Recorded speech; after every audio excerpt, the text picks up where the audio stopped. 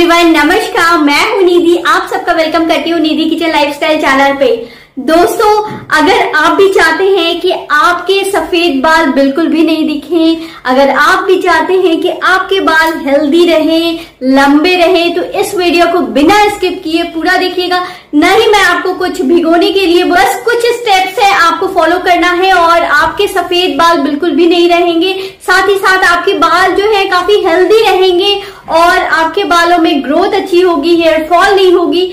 तो चलिए स्टार्ट करते हैं। बिना देर किए उससे पहले एक छोटी सी रिक्वेस्ट है। अगर चैनल पर पहली बार विज़िट किए हैं ना तो प्लीज़ एंड प्लीज़ चैनल को सब्सक्राइब ज़रूर कर दीजिएगा। पास ही दिखेगा एक छोटा सा बेल बटन उसे दबाना न भूलिएगा, ताकि आने वाले वीडियोस की नोटिफिकेशन आप तक आते रहेगी। और अगर वीडियो हेल्पफुल लगे तो प्लीज़ एंड प्लीज़ वीडियो को लाइक कीजिएगा। इस रेमेडी को हम बना के रेडी करने वाले हैं लोहे के वेसल में। जी हाँ दोस्तों आयरन का जो तत्व होता है ना, वो हमारे बालों पे बहुत अच्छा काम करता है। तो मैं लोहे का कढ़ाई ले ली हूँ। ये आपको दिख रहा होगा आयरन का जो तत्व है, वो बहुत अच्छा काम करता है। अब मैं यहाँ पे लेने वाली हूँ एक शैसे कॉफ़ी पाउडर का। तो दोस्तों, एक से डेढ़ चम्मच इतना आपको कॉफ़ी पाउडर यहाँ पे ऐड करना किसी भी ब्रांड का ले सकते हैं। अब यहाँ पे आपको ऐड करना है हल्दी पाउडर। आधा चम्मच आप हल्दी पाउडर ऐड कर दें। कॉफ़ी में होता है कैफेटीन, जो कि मेलेनिन को करता है बूस्ट। और मैं आपको बता दूँ, यहाँ पे मैं डाली हूँ हल्दी पाउडर। ये हल्दी एंटीसेप्टिक का काम करता है एंटी फंगल का काम करता है। दोस्तों, ये हमारे सफ़ेद हुए बालों को भी जड़ से काला बनाने में हेल्प करता है। इन दोनों को आपको मिक्स करना है और यहाँ पे डाल देना है एक कप इतना आंवला जूस। तो मैं यहाँ पे पतंजलि का आंवला जूस ऐड कर रही हूँ।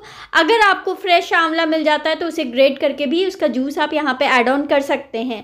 अगर वो नहीं मिल रहा है आपको इन दोनों में से कुछ भी तो आप यहाँ पे डेढ़ से दो चम्मच आंवला पाउडर डाल दें और एक कप इतना पानी ऐड ऑन कर दें।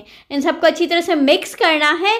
अब इसे हमें पकाना है जब तक ये थिक ना हो जाए। दोस्तों, मैं आपको बता दूँ, इस रेमेडी को अगर आप लगाएँगे, आपके जितने भी सफ़ेद बाल हैं बिल्कुल जड़ से काले हो जाएँगे, बाल घने होंगे, मज़बूत होंगे। बालों में जो भी समस्या है ना, डैंड्रफ की समस्या है, बाल बहुत ज़्यादा झड़ रहे हैं, इन सबसे आप निजात पा सकते हैं।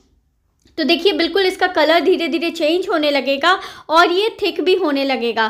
मैं इसे मीडियम फ्लेम पे बना रही हूँ। आप चाहें तो आप इसे लो फ्लेम पे भी रख के बना सकते हैं। तो आपको दिख रहा होगा, बिल्कुल इसका कलर चेंज हो गया है।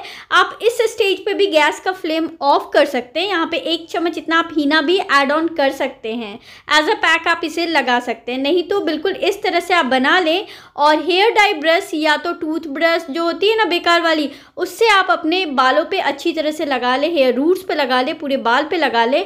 अगर आपको लगता है कि ये क्वांटिटी थोड़ी सी कम हो गई है तो आप यहाँ पे और थोड़ा सा ऐड कर लें हीना पाउडर उसके बाद आप इसे अपने बालों पे लगाएँ, एक घंटे के लिए रहने दें, फिर वॉश कर लें। नेक्स्ट डे आपको शैम्पू करना है। थैंक